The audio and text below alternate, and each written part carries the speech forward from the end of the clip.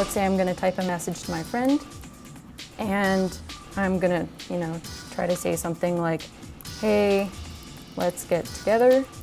And maybe I'm in a rush and maybe I'm not so good at spelling. But that's okay, because Hotmail can help me.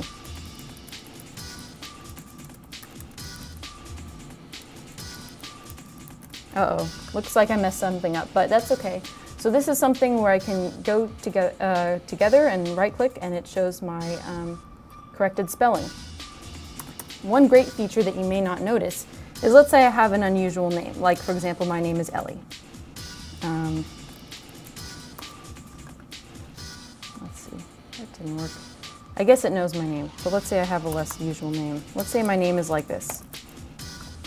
So let's say that this was actually was my friend's name. I could add it to the dictionary, and then every time when I log into Hotmail and try to address the message, it'll automatically remember that spelling. It migrates to all of my different computers.